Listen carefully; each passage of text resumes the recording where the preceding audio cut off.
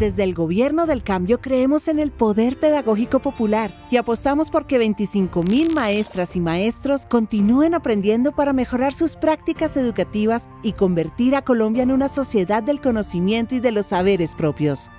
La formación docente yo creo que es el eje principal. Se trata de una superación. Construir juntos para mejorar. Es una experiencia bastante significativa y transformadora.